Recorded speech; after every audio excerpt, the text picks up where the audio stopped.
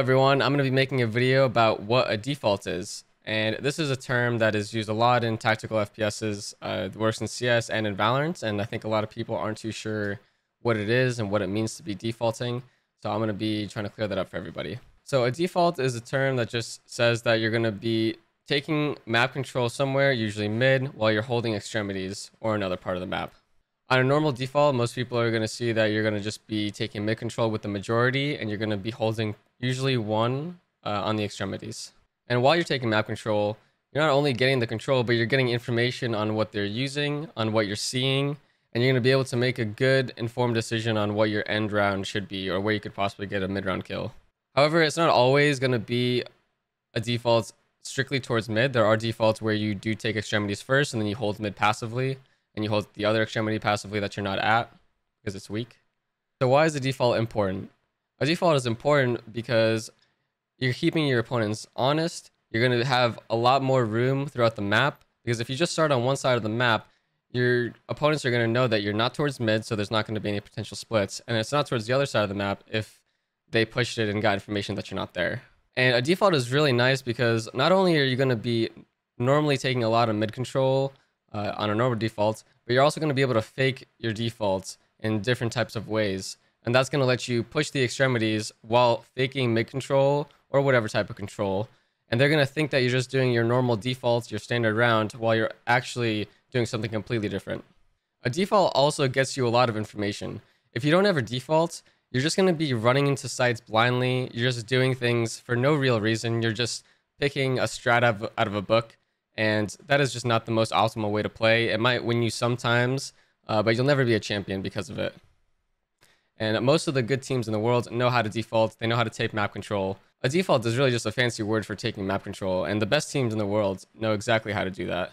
And, and stepping away from the tactical side of it, it also lets your players have more freedom, and they're able to do little micro plays here and there. They might see how someone's playing on one side of the map, and uh, they'll call to like to the IGL and say exactly how they want to you know take this guy out, or they think a certain part of the map is really free, and then that lets you get straight into a strategy that you know is going to work.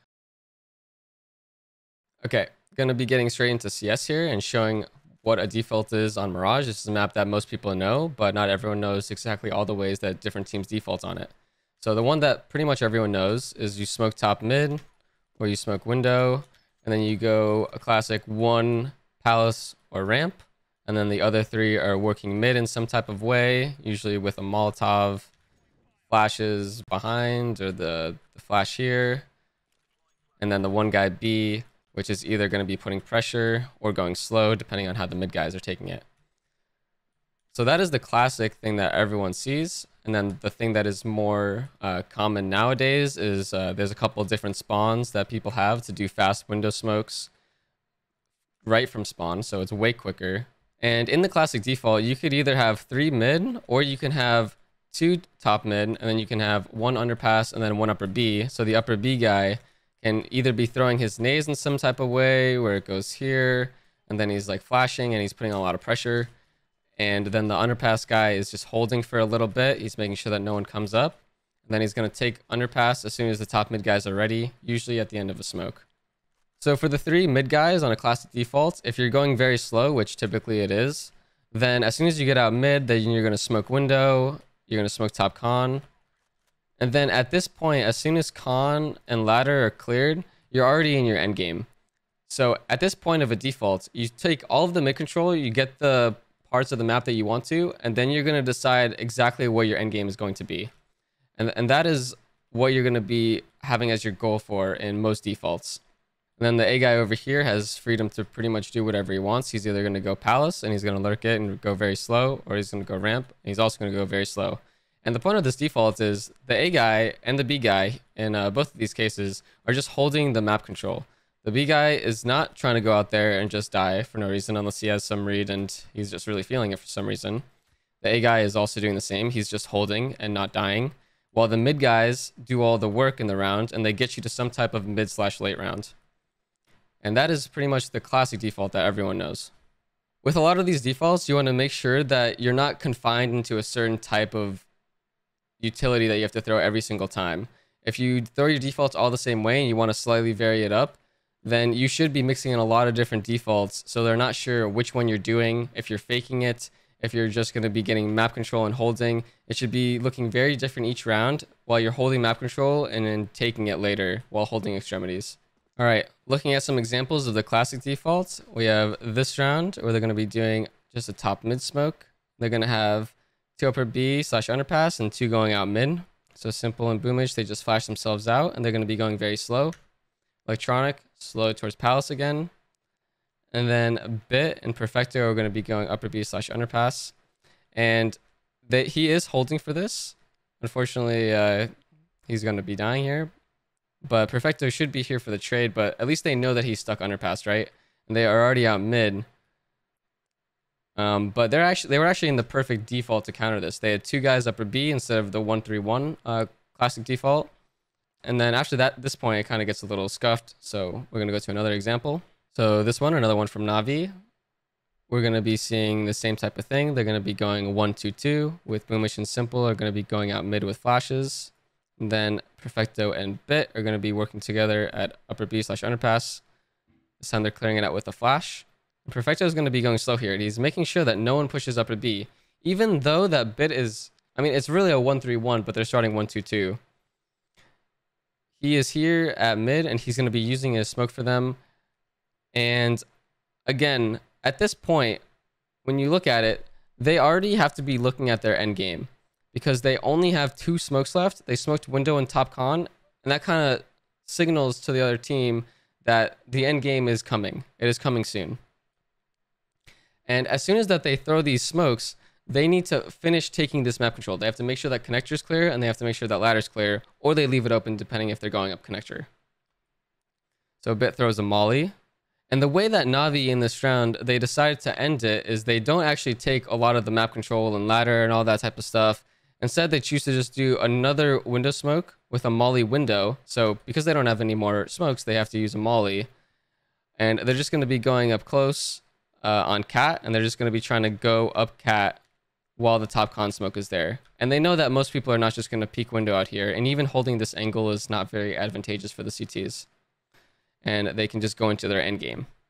Right here, we got a classic default from Gambit, and you're going to be seeing they do the late window smoke, but they're going to be going 1-3-1. And then they have Axile upper B. He's just making sure that he's not going to be getting pushed here. And enters after throwing that, he just goes ramp and just does whatever he wants at this point. And then the mid guys here are just going to be going out mid with whatever flashes and utility that they have for their team. And you see they're just out here and they're just waiting. All these guys are just waiting here. And Axile actually gets a pick on underpass because config uh, went under early. And then Gambit here, as soon as they have that kill and they're out mid, they know no nothing's going to be pushing them. They're going to start sending people back already. And they're going to have Hobbit, he's going to smoke window. And Nafany is going to be doing the top con smoke. So to them, they're already regrouping towards A here. They're already ready. So this con smoke is landing while they're already ready. And the CTs, they're kind of uh, preparing to fight mid here. You can see they're all just towards mid, while all of Gambit is already completely repositioned towards A. So they're already doing their end game right now, Gambit. They did their window smoke and their top con smoke. It's end game for them.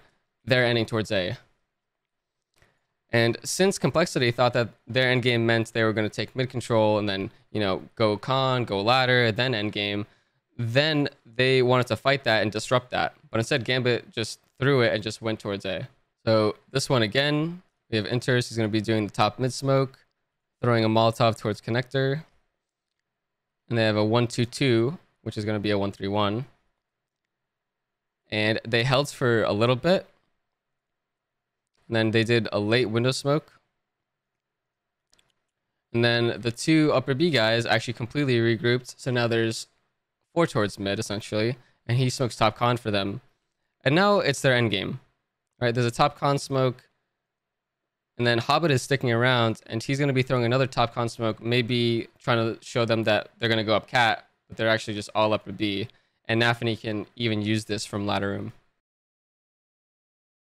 The next default that teams are running on Mirage is they have fast window smokes from a couple different spawn points.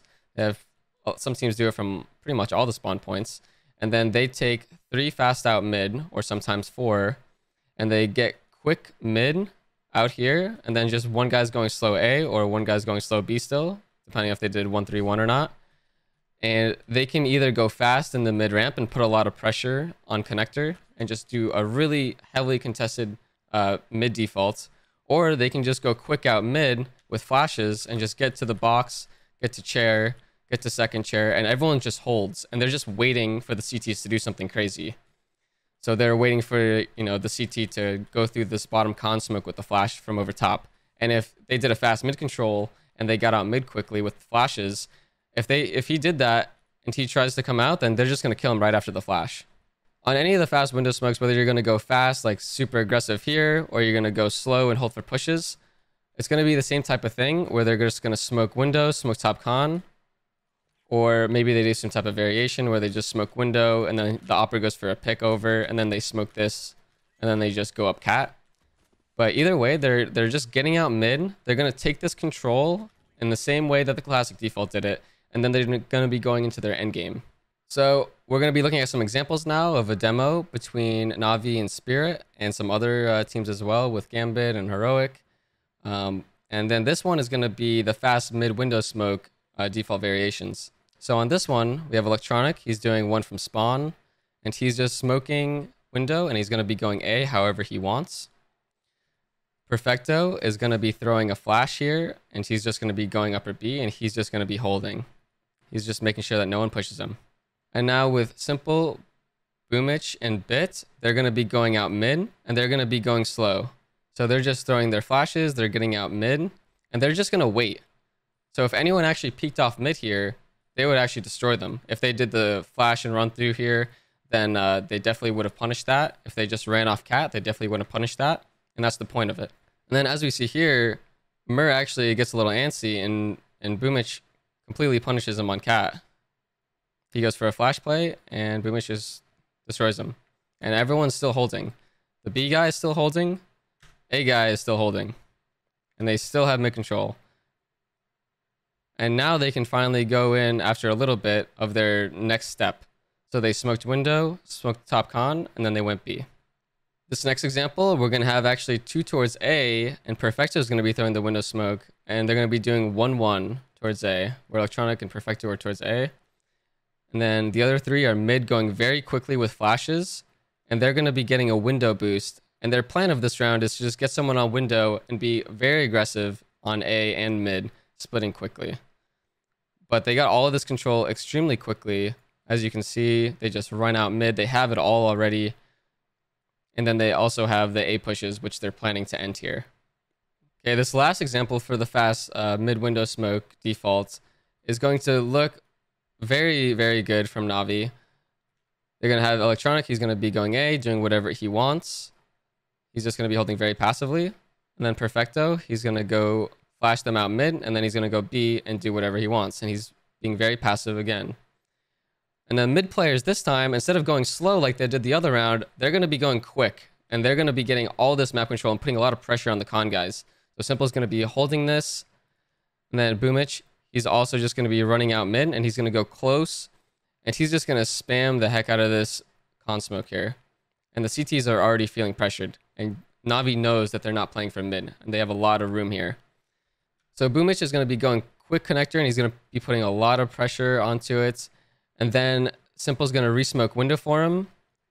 Boomich is going to resmoke top con. And as soon as they smoke window here and they smoke top con, you're going to see that they get the rest of the map control where they know that connector is clear and then they're going to clear out ladder. And now they have to decide on like what their end game is. They honestly kind of had to do a little bit earlier because they only have one smoke now and it's unfortunately on their A lurker. So they're in a really tough spot in this round. But at this point, you would be thinking this is end game because they got the map control they wanted. They held the extremities. They're still there. And now they can pretty much decide on what they want to do. The next type of defaults would be the extremity based defaults. And on Mirage, most people are going to be doing this by going 311 or they're going to be going 113. So 311, usually you do this with an opper on both extremity defaults because it's hard for just rifles. But you could either do two ramp and then one guy is just waiting up here and then the other guy is supporting him and he's either going to be doing like the lamp flash or he's going to flash over halls and this guy's going to go for some type of pick and then they're going to pause. And while these guys are three at A, this guy over here is just going to be holding very passively, and he's just looking at mid. If they take mid, he's just going to go for a shot, and he's probably just going to tell his team that they took they took mid. Now the 3A guys are going to go out because they have all the freedom. They know that the CTs just put a lot of pressure towards mid. That means that the 3A guys can start going out. That means that there's only going to be one A, most likely, or he's going to be playing retake from con, and they're not going to see anybody. And then same thing with upper B. If the one guy B sees something, if they pushed in some some way over here, he's going to be communicating that to his team, and either he's going to say, "Oh, an opper just took all this control up here. We need to make sure that we clear this out before we go into our end game." And as soon as you get the opper off of this angle, then you can go into your end game after that. Because if the CT's got this info and they know that it's completely clear, then they can just stack towards whatever site that you're going to. And it's very important for the extremity players to, to be very vocal about that.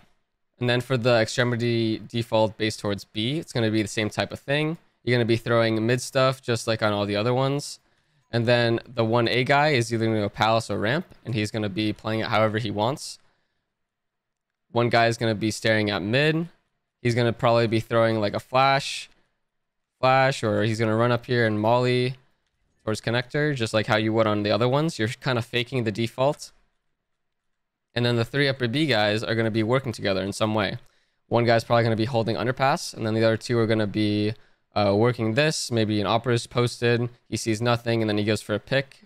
And if you get a pick, you can actually explode. And that's the really nice thing about both extremity defaults. If you're going to go towards B or A, if you get a pick, you can actually just explode off of it, and then your 1-1 guys can just become lurkers.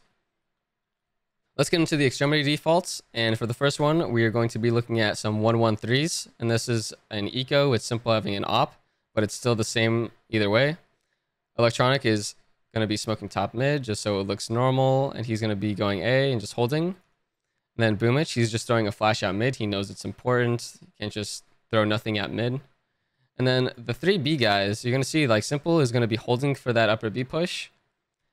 Bit is going to be looking at the underpass push and then Perfecto is just here in case he gets a kill and they could just explode. And they're just like praying that they get a, a pick here. This is an eco round, but this is how it looks where they have a lot of freedom to do a lot of things here at B because they know nothing's pushed mid and they know nothing's pushed A. And if any, if they do luckily get a pick, this is an eco, then they can win the round. In this round, we're going to be looking at another 1-1-3, where Electronic is going to be going towards A. He's not going to be using his smoke. Perfecto is going to be doing a fast window smoke. And then Boomish is just going to be throwing stuff towards mid. And he's actually going out. Uh, it is an anti-eco this round, but it's still showing the same principles. And then if we look at the B guys, Simple is going for the upper B pick. Bit is holding underpass again. And Perfecto is also here just in case. And they're kind of just slowly working this and just seeing what information they get. They mollied at Van, saw no one's there, and they will eventually be going out here. And that is, that is how the default is looking. So on this anti-eco, their goal is just to punish any pushes while having the majority stacked on one spot ready to go out if they get anything. This round is the extremity default more towards A. So we're going to see Electronic is doing top mid smoke. So as you see, they're still like putting a lot of stuff towards mid. They're making sure that it, it's not quiet there because otherwise it's, it's very obvious what you're doing. And they have Electronic going towards Palace and they have Bit and Simple working together at ramp. So Simple goes for the initial cross pick, doesn't get it. And then after that, he's just ready to help Bit get a quick pick here. He smokes it out, gets a flash over, and he can't get anything, so he just falls back. Uh, he's just being safe. And then if we look at the other guys, we have Perfecto at upper B, and he's just holding, he's listening, he hears nothing, and he's in a very advanced position in kitchen here. Then conversely, we have Boomich, he's throwing stuff mid, just on all the other defaults. And just to reiterate again, you need to make sure that you're putting noise at mid. If you don't, if you're doing an extremity default and you're not putting any noise at mid, then they know that something's different. Either they think you're going into a strat or they think you're doing extremity default, one or the other. So this is another extremity default from Gambit. And they're going to be having 3 towards A in the 311, and Shiro's going to be holding the ramp push. And then Hobbit and interz are going to be at Palace, making sure that nothing pushed while Axile is making sure that no one is pushing B, and Nafany is making sure no one's pushing mid. So you see how passive they are. They're making sure nothing is happening, Nafany's ready to give it up instantly. And at this point here, Nafany is going to be going back and he's going to be doing a window smoke, showing to complexity that they want to take mid now. And normally what teams do after they do a window smoke like this, not always, but sometimes they do a run boost with the Opper and they take mid.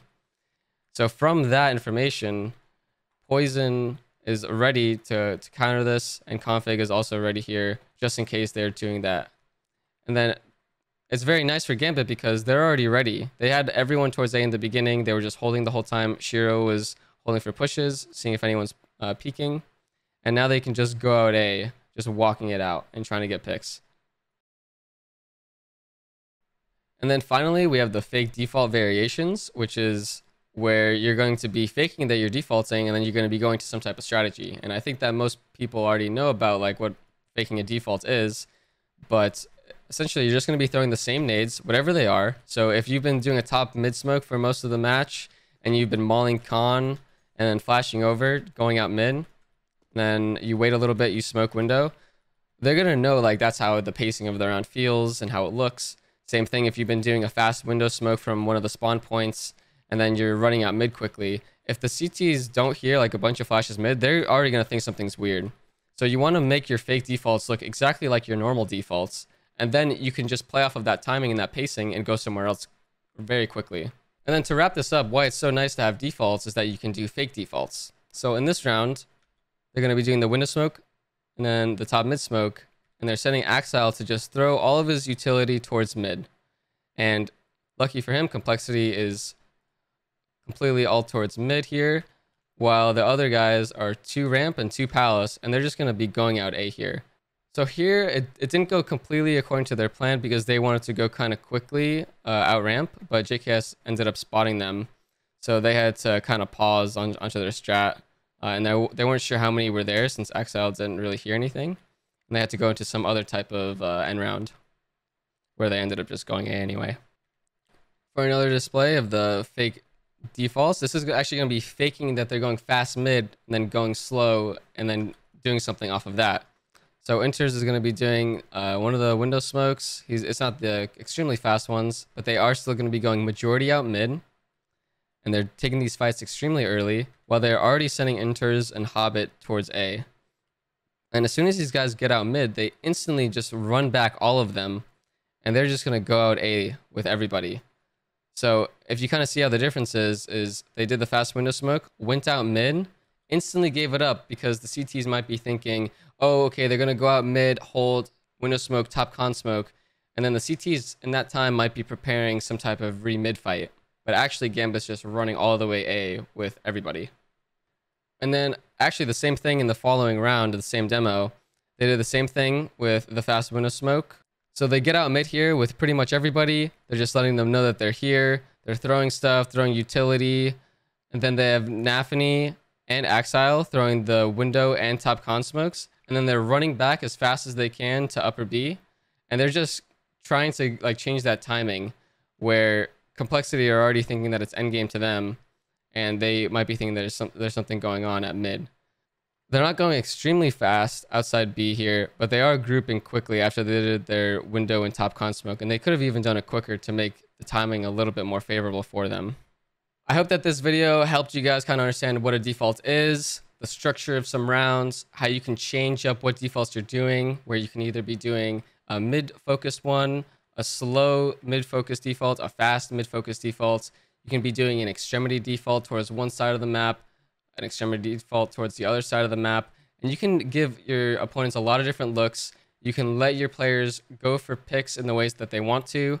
They can change the pacing of the rounds and just give a, a really good advantage to your team if you know how to be doing this and your extremity players aren't getting picked off. It leads you to a lot of different strategies that as an IGL you can call and, and not feel forced into different ones and that you're just picking a strategy out of a book that you have. Really hope that this helped you guys and make sure that you like, comment, subscribe on the videos and let me know if you like this type of content where I'm just kind of explaining these things a little bit more. And yeah, thank you guys.